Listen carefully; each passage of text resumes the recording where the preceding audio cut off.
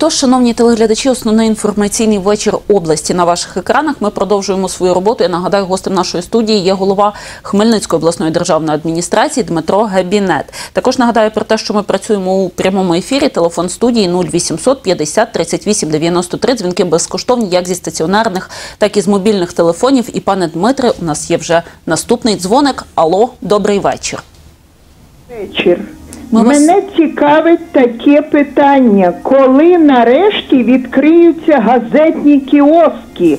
Неможливо купити свіжі газети. Почта працює, а чому кіоски закриті? Поясніть. Ми вам дякуємо за запитання. Будь ласка, пане Дмитре. Кіоски закриті, тому що це не передбачена їх робота постановою уряду. От така відповідь. Чому уряд прийняв таку постанову? Значить, він бачив в цьому доцільність. Зрозуміло. Ну і власне тепер моє вже запитання е, про малий та середній бізнес. Зрозуміло, що він зараз страждає, підприємці страждають, несуть збитки. І чи буде якась підтримка з боку обласної влади?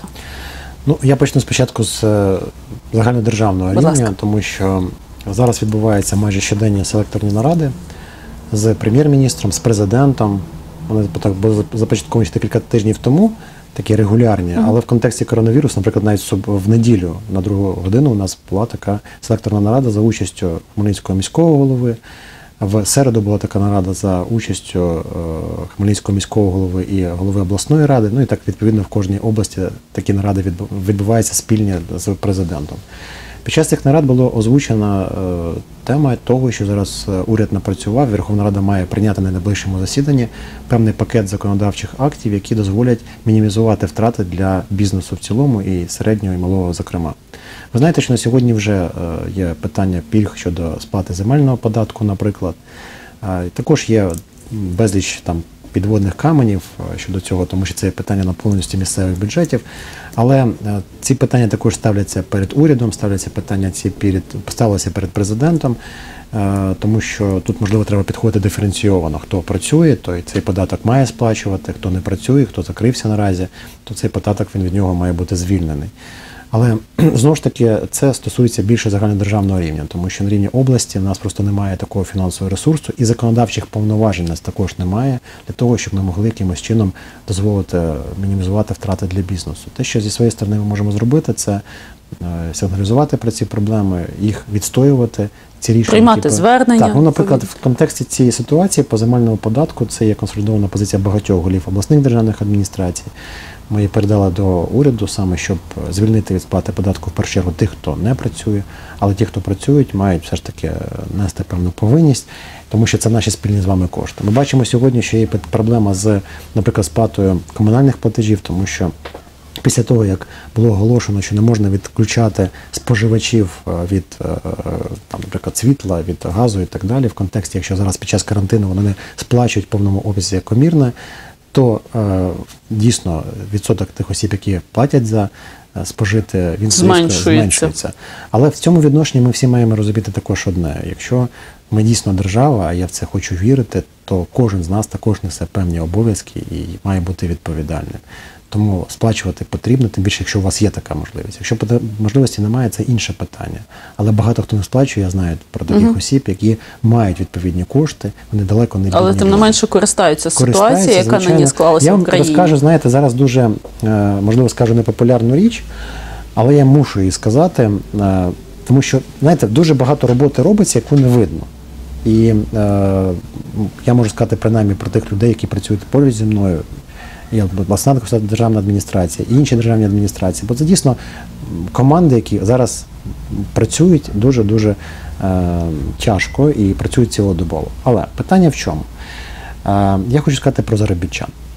Ми всі пам'ятаємо з вами ситуацію, коли Санжарів повертався наш е, літак з нашими співгромадянами, і як певні області, як люди сприймали цих людей, вони там навіть молилися, дякували Богу, що там Що їх привезли, повезли області. в інше місце. Да, так. І знаєте, саме цікаве, що в цій ситуації е, дуже часто ми можемо згадувати про ці області, де ну, дуже великий відсоток заробітчан. Так? Е, На сьогоднішній день повертаються їх близькі, і ну, вони е, реагують сьогодні Ну, вже адекватно, не блокують, але вони так. чомусь їх не блокують і так далі. Але я до чого веду це до стосунку один до одного.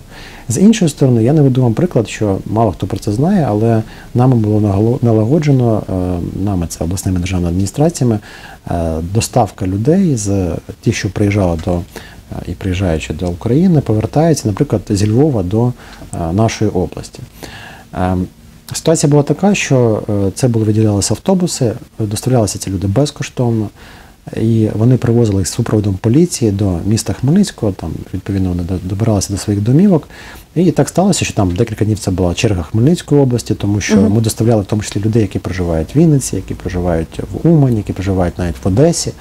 Е, І е, Наступний день це була черга Вінницької області. От саме я прочитав допис, був в Фейсбуку, мені скинуло однієї з такої з таких е, громадянок, яка написала про те, які погані там в Хмельницькій області. От вони їхали автобусом, перевезення було організовані Вінницькою ОДА. Більше того, там текст такий, що повідомили про те, що всім вінничанам, які приїдуть е, Робитимуть тест тести, на а наявність а їй- коронавірусу. Їй відмовили. Я, прочитавши це, зателефонував до Вінницького голови ОДА, питаю, що там, Владислав, точно вас будуть робити? Каже, до нас немає ще тестів поки що. Тобто я до чого веду? Розумієте, зразу з претензією. З претензією, тобто людину везуть, людину везуть безкоштовно. Просто вона потрапила в день, коли возили везла Вінницька ОДА. Перед тим Хмельницька ОДА. Ми не ділимося, це є наш обов'язок це зробити. Ми це робимо. Але з претензією, ну я не розумію цих людей багатьох. Чому? Тому що ну, можу сказати, що багато хто з них. Я, я не буду засуджувати. Вони поїхали, тому що тут не було роботи. Але е, ну, давайте будемо відвертими. Багато хто з них не копійки не заплатив державний бюджет України е, в вигляді податків. І це є також правда. Я коли працював за кордоном, і це можна перевірити в моїй декларації, я щороку подавав декларацію і платив податок саме в Україні. Хоча я міг цього теоретично не робити, тому що немає спільних в нас, скажімо так, ресурсів, які б дозволяли відслідкувати особу, яка працює, наприклад, в тій самій Польщі, не сплачує податок в Україні. Я це робив свідомо. І я можу вимагати, маю на це моральне право вимагати від цієї держави відповідного ставлення до себе. Так, в нас є багато проблем. Але людина, яка прожила багато років за кордоном, жодної копійки не сплатила, і вона приїжджає і починає ще й Вчора була це взагалі анекдотично. Телефонує мені біля першої години голова Львівської ОДА, чергова група таких людей приїхала. Я вам більше скажу, вони відмовилися, щоб їх везли автобусом, тому що їй довго їхати до Хмельницького, а вони хотіли, щоб їм замовили таксі. Що ви думаєте? Ми зробили це. Ми завезли їх Ви на замовили бусику. таксі? Це було фактично таксі зі Львова. 6,5 тисяч ми заплатили за цей бусик. На 8 осіб ми їх довезли до міста Хмельницького. Просто Хмельницька сказав, вибачте, але до вас до районних центрів ми не повеземо. Тому що зараз почнуть писати, говорити, але ну ставлення дуже дуже цікаве. Вони там підняли скандал, що їх там не годували в тому Львові. Це люди повернулися за кордону. Я розумію, що повернулися, мабуть, щось з грошима. І до останнього сиділи там. Але це є ненормальне ставлення. Це не є свідоме, відповідальне ставлення до себе як до громадян цієї держави. Ну і тут власне запитання, чи ці люди дотримуватимуться потім а, режиму самоізоляції. Але про це поговоримо пізніше, тому що маємо телефонний дзвіночок. Алло, добрий вечір. Добрий вечір. Е, Добрий вечір. Так, ми вас слухаємо. Е, В мене таке питання. Скажіть, будь ласка, а чому на під час е, під час карантину скасувалися пільги і чому закриті універмаги, що ніде ніякі одежі не можна купити? От це мене цікавить. Ми вам дякуємо за запитання. А, Ви знаєте, судячи з вашого голосу, ви є е, особою, скоріш за все, старшого віку. І е, пільги не скасувалися. Це було свідоме рішення. Я дякую в тому числі владі міста Хмельницького, яке прийняло за рекомендацію обласної комісії е, саме рішення про скасування пільг на переїзд, ви маєте на увазі в комунальному транспорті для осіб, осіб пенсійного віку, тому що ви є вперше в групі ризику. Якщо ви проаналізуєте статистику, то саме майже 90% людей, які померли від коронавірусу в світі, це є особи, які є старше 60 років. Саме з метою того, щоб убезпечити вас. Тому що, знаєте, у мене сестра, наприклад, живе на Гречанах, а працює в, ну, на- Чорноволе. І зранку, коли ще не було цього обмеження, сісти в тролейбус було неможливо, тому що є обмеженість за кількістю, але цьому тролейбусом користалися хто особи похилого віку.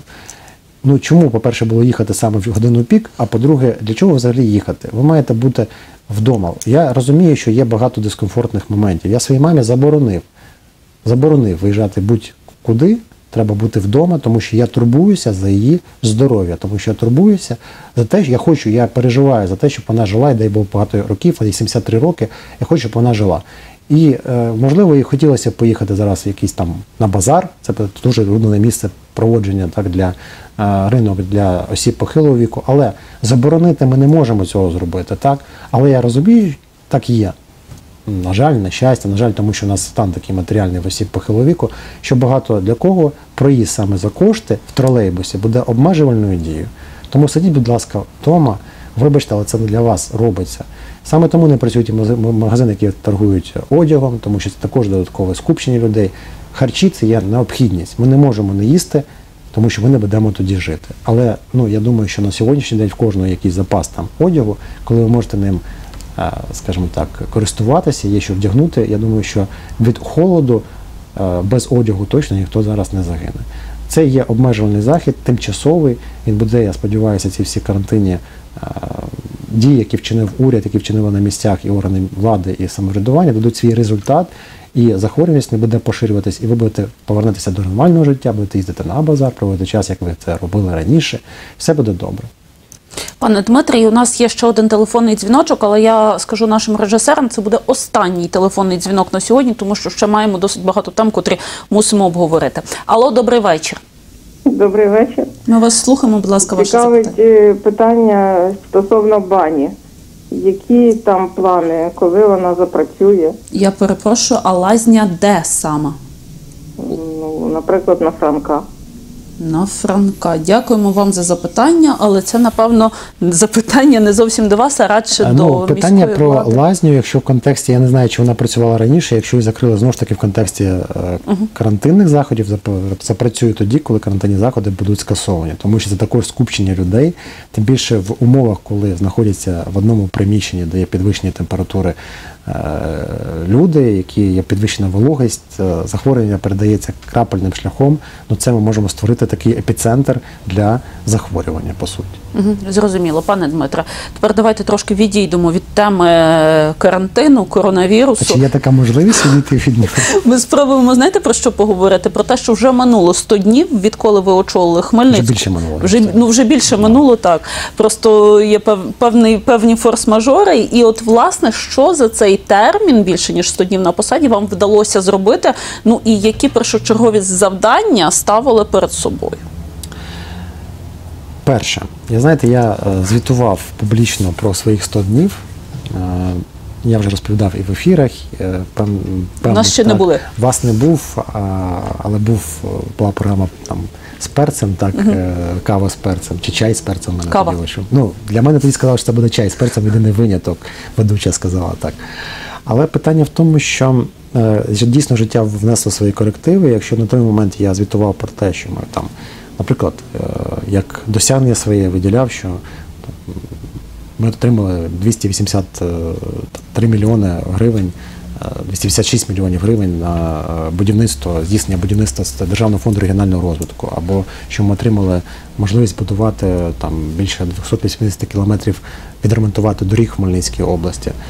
Це я вважав досягненням, тому що дійсно ми ці зустрічі провели, ми ці кошти е, вибили, можна так сказати. І Кубраковим я зустрічався головою Куравтодору, там дорога Р-48, яка мала ремонтуватися. То на сьогоднішній день я не хочу зараз це повторювати. Чому? Тому що в контексті коронавірусу ми розуміємо, що можуть бути дійсно корективи серйозні. Тому що може бути переглянутий фонд е, регіонального розвитку, може бути переглянутий дорожній фонд. І що в підсумку залишиться з того, що ми зробили в цьому контексті, мені важко сказати. Але є певні конкретні досягнення. Я тоді починав під час звіту говорити про те, і я вважаю це досягнення, це ка- кадрові призначення, тому що я призначив чотирьох м, заступників. Я це зробив і призначив по суті тих людей, яких вважав е, за потрібне це зробити. Хоча це було дуже важко, тому що були інші е, ідеї, були інші пропозиції. Вам нав'язували чиїсь кандидатури? Я можу сказати, що нав'язували, але я дякую. Я дуже дякую президенту України, дуже дякую офісу президента, які підтримали саме і підтримували голів адміністрації, тому що це ваша відповідальність, і ви маєте нести за нею відповідальність. А якщо ви будете це робити, звичайно, ви маєте володіти можливістю, інструментарієм своєю командою. Я їм за це дуже дякую, тому що це дійсно велика була підтримка. І якщо до речі, до речі, проаналізувати в історичному контексті Хмельницьку область, то ми можемо побачити, що небагато було таких випадків, тому що все одно заступники це були політичні компроміси, довго не могли призначити заступники, були ТВО і так далі. Окрім того, були призначені голови районних державних адміністрацій, е, фактично 19 осіб з них це ті, кого призначали вже за моїм поданням. А Зараз Шепетівка ще лишається старий голова адміністрації, але я думаю, що невдовзі там відбудуться кадрові зміни.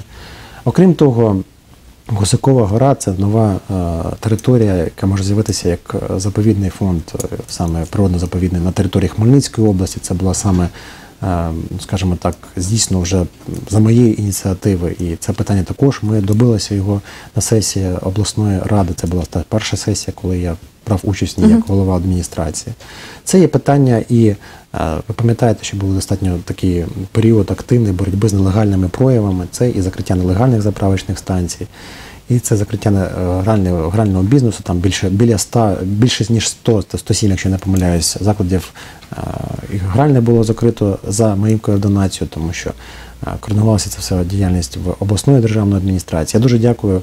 До речі, за чого хочу подякувати е, органам відповідним це і фіскальній службі, і е, Національній поліції Хмельницької області, і Служби безпеки управління за ту роботу, яку вони зробили. І я вважаю, що сьогодні очолюють ці органи саме е, дійсно фахові спеціалісти і е, чесні люди. Тому я думаю, разом ми багато чого ще доброго зробимо. Але це все було зроблено за цих 100 днів. Але це те, що на сьогоднішній день ще важко виміряти. Виміряти, тому що кожен громадянин може відчути щось, якісь зміни, коли він може купити більше, коли може спожити більше, коли може скористатися якимись е, зручностями додатковими. Воно все мало бути і дуже швидко, я вважаю, за це було питання навіть місяців, коли ми побачили багато чого, можливо, ще й побачимо, тому що є так звані об'єкти великого будівництва, це 28 об'єктів взагалі ДФРівських перехідних регіонального розвитку фонду. Але це і питання так звані 15 об'єктів великого будівництва, яке започатковано було президентом. Це все мало бути доведено. Я ще вірю в те, що буде багато чого доведено до кінця, але подивимось, як скільки буде тривати карантин і скільки коштів витратить держава, область е, на боротьбу з цією хворобою. Тому що сьогодні в пріоритеті це здоров'я людей. І для мене особисто, бачите, коронавірус все одно обійти е, не можемо. Не увагою, можемо обійти цю тому тему, Що для так. мене в пріоритеті захист лікарів, які будуть працювати, їх треба захистити. Це захист поліцейських, які будуть забезпечувати в е, якщо буде надзвичайний стан безпеку на вулицях, захист від мародерства, тому що ми розуміємо, що це такі ж явища також можуть мати місце, і багато багато інших дій, які маємо вчинити.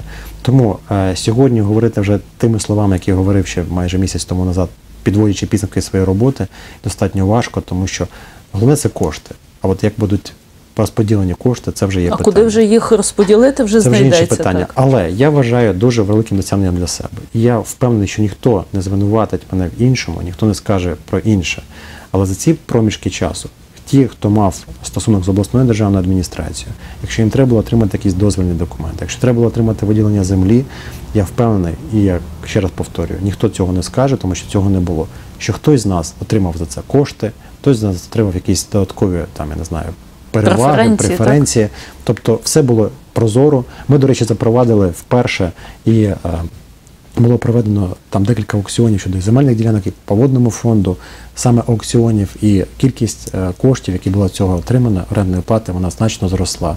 Це також нам було зроблено. Е, Ті е, Державний фонд фонд держмайна також проводив певні аукціони, коли ми також трутилися, і ціни на певні об'єкти були значно зросли в порівнянні з тим, як там їх хотіли продавати. Тому ці всі моменти це є те, що мною було зроблено за 100 днів. Це величезна робота, це просто нерви, які були спалені. Так я не знаю, як це відобразиться далі на моєму здоров'ї, але сподіваюся, що все буде добре, тому що намагався підтримувати себе в нормальному стані. Але це була важка праця з 9 до 11 щодня, без вихідних. Казав тоді на брифінгу. Ну, і за нині сьогодні, напевно, нічого не змінилося. Сьогодні тільки додавалося додаткові, тому що тоді, е, знаєте, коли не було коронавірусу, про який мене вже не намагалися не згадувати, е, я ну, в вихідні трошки менше проводив часу на роботі, тепер більше, тому що вже і наради проводяться і президентом в ці дні і так далі. Тому працюємо, дай Бог, щоб не було захворюваності. Буде захворюваність, я розумію, що взагалі будемо жити на роботі і ночувати на роботі. Навіть з точки зору того, щоб не, за, не наражати своїх близьких на небезпеку. Тому що я сказав про свою е, маму, і я розумію, що контактів в мене буде набагато більше з людьми, тому треба буде десь там самоізолювати, ізолюватися В кабінеті. В кабінеті. Так, пане Дмитре, якщо ми говоримо про децентралізацію, про об'єднання громад, е, чи рухається цей процес на Хмельниччині, тому що є дуже багато суперечностей, так є дуже багато населених пунктів, котрі мешканці котрих, скажімо, мають дещо інше бачення аніж представники державної влади. Дивіться. е, Ви знаєте, що тоді, коли я тільки приступив до виконання своїх посадових обов'язків, це був, по-моєму, другий день, вівторок, м, 26 по-моєму, число, я точно вже не пам'ятаю листопада місяця, коли е, засідала робоча група обласної державної адміністрації, яка погодила план так званої децентралізації, перспективний план розвитку громад на території Хмельницької області, в якому була окреслена певна конфігурація тих громад, які будуть існувати, мали б існувати в перспективі після того, як будуть проведені е, реформа, е, реформістські дії, зокрема Кабінет міністрів прийме своє рішення, потім Верховна Рада тощо. Там було передбачено 59 громад, якщо не помиляюсь, створення їх. І е, за цей проміжок часу, в принципі, рішення не змінювалося. Е, Там відбулася певна коректа е, на те, що, наприклад, е, там Сахновецька об'єднана територіальна громада Старокостинського району було прийнято рішення Міністерства розвитку громад та територій, що вона, скоріше за все, що не буде існувати, тому що вона є розірваною, а це було однією з умов, що вона має бути цілісною. Так, дійсно є певні суперечливості з це Журавечка. Е, Це була є поки що так, там Колибаївка, це Колибаївська громада, це Довжоцька, е, яка хотіла створити, створитися, так. І там ще декілька інших, е, які, е, ну, скажімо так, навколо них були певні суперечки. Ці громади не передбачені сьогодні перспективним планом. Дійсно, там, наприклад, якщо це Колибаївка і Довжок, вони мають приєднатися до Кам'янець-Подільської громади. Якщо це Шаровечка, то прийнято було рішення, що вони мають приєднатися до Хмельницької об'єднаної територіальної громади міської. Але рішення е, в місті Хмельницькому з цього питання вже не приймається. Ці документи вони передані. Це наша принципова позиція.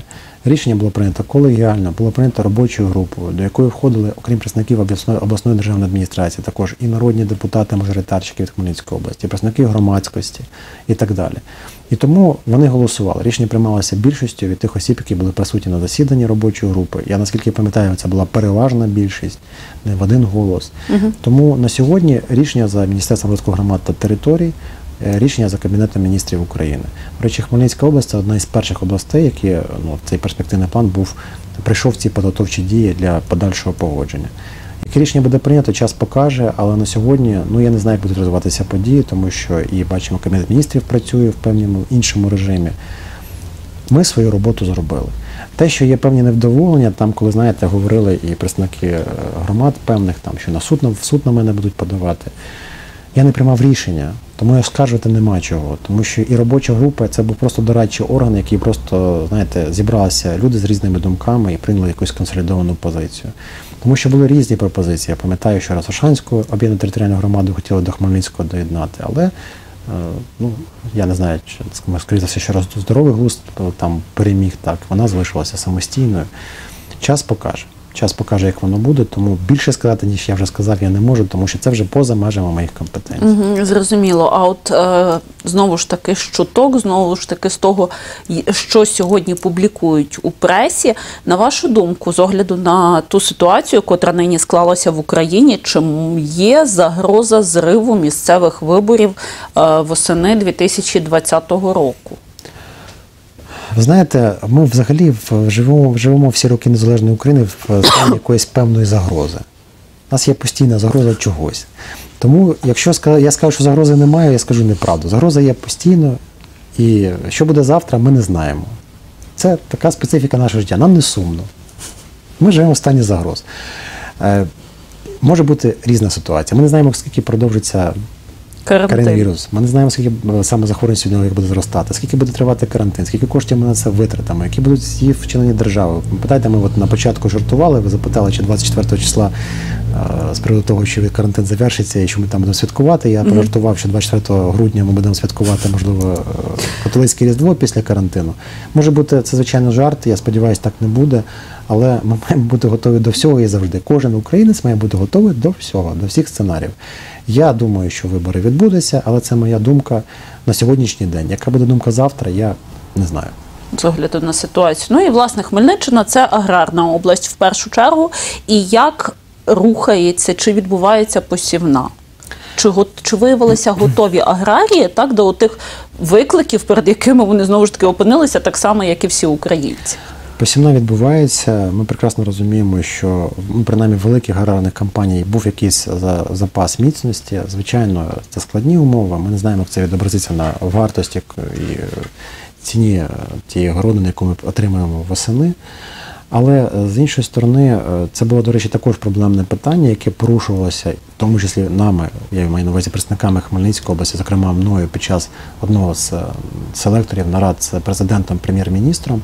І ви бачите, що в постанові це питання було вирішено, а саме те, що дозволили працювати тим самим магазинам, які торгують насінням, наприклад, які торгують е, добривами, тому що ми розуміємо, що є і більш такі мілкі господарства, є звичайні люди, які також мають певні дачні ділянки. Я думаю, що знаєте, це в якості жарта показували, що там Лукашенко казав, що трактор вилікує. Да? Вилікує все, Да, але я думаю, що нашим пенсіонерам дійсно буде е, корисно провести час на свіжому Свіжому повітрі, повітрі. е, так на своїх е, дачах, там городах.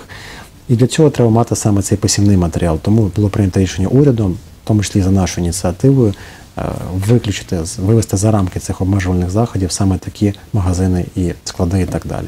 Тому на сьогоднішній день ситуація рухається, вона рухається згідно з тим графіком, який є.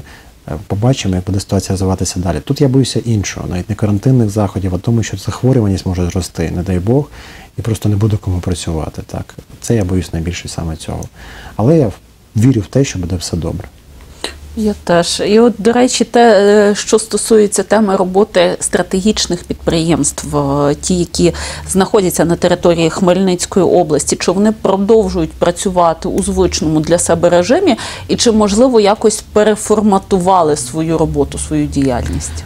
Звичайно, вони продовжують працювати. Більше того, ми вже склали певні списки і вона надіслала пропозицію до Кабінету міністрів щодо стратегічних підприємств, які необхідні для Хмельницької області в контексті забезпечення життєдіяльності. Звичайно, це починається з енергетичного сектору. У нас є найбільша е, об'єкт такий це атомна електростанція Хмельницька, яка знаходиться в Натішині. Це є підприємства, які виготовляють і продукти харчування і так далі. Там список є достатньо великий. Е, Можу сказати про певні заходи додаткові, які мають сприяти тому, щоб ці об'єкти працювали. Наприклад, якщо ми візьмемо АЕС Хмельницьку, то ви знаєте, що Натішин це місто, яке ну, зараз вже знаходиться в певному такому стані більш закритому. Там є певні карантинні Обмеження. пости, обмеження, але ми бачимо, що і вони працюють недостатньо ефективно, настільки б як хотілося, тому що одна з підозр нещодавно це була саме особа з Натішина, якщо ви пам'ятаєте. Слава Богу, цей випадок не підтвердився, але це особа, яка приїхала з Будапешту. До речі, якщо ви прослідкуєте, то майже всі, хто захворював е, на, на цю хворобу, це були особи, які приїхали за кордону. Тобто це є реальний факт. Або хто з ними спілкувався. Так ось це особа, яка приїхала з е, Угорщини, і вона там полями заїжджала до міста Найтішина, тому що через е, ці карантинні пости вона могла просто не потрапити до міста.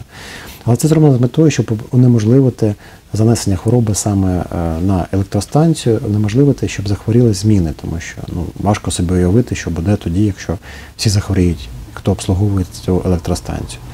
Тобто і самі е, працівники електростанції переведені на інший режим роботи, вони там є певні у них обмеження щодо перебування поза місцем роботи і так далі. Е, Звичайно, до речі, певні дії вчинені і в місцях скупчення, про які ми зараз говоримо, про них вони так розводяться за рамки. Е, Це, наприклад, та ж сама прикордонна академія. Тому що також багато людей в одному місці знаходяться. Е, Наскільки ну, мені доповідав і виконуючий обов'язки ректора, тому що ми це питання також контролюємо.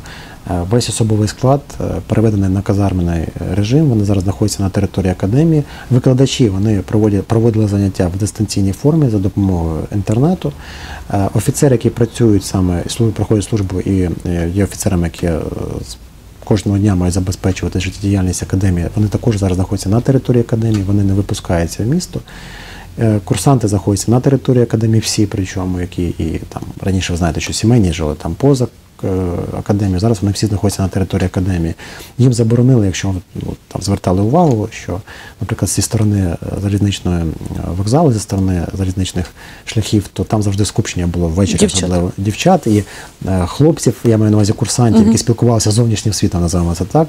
Тобто вони запровадили додаткові патрулі з офіцерського складу, які не дозволяють це зараз робити. Тобто максимально, щоб цей, цей контингент не спілкувався, тому що це одне місце, де знаходиться багато людей, і це може бути просто спалах захворювання. Така сама ситуація в інших військових закладах є це в Кам'янці-Подільському, наприклад. Тобто це ми всі відслідковуємо, з цим ми працюємо, щоб якомога менше було контактів з зовнішнім світом. Тому що зараз головна е, те, що ми там зараз звичайно купуємо і е, апарати штучної вентиляції легенів, і засоби індивідуального захисту, і ліки, це, це є добре, тому що ми готуємось до того, що може бути. Але головне, що ми маємо засвоїти, це самоізоляція. І взагалі ізоляція груп не буде спілкування, тому що ще раз підкреслюю, він з, нікуди не береться. Якщо особа приїхала за кордон, завезла його, як свого часу з Китаю завезли його інші країни, цей вірус, то треба зробити все, щоб люди, які ну можна їх унеможливити від контактів, ми їх від тих контактів унеможливимо. Ну але тут залишається тільки сподіватися на людську свідомість. Пане Господа Дмитре, Бога, так. так, пане Дмитре, на жаль, завершується ефірний час. Я вам дякую за те, що ви сьогодні завітали до нас у студію. Шановні глядачі, я нагадаю, гостем студії програми Основний інформаційний вечір області був голова Хмельницької обласної державної адміністрації. Ми ж з вами побачимося у прямому ефірі наступного четверга. На все добре.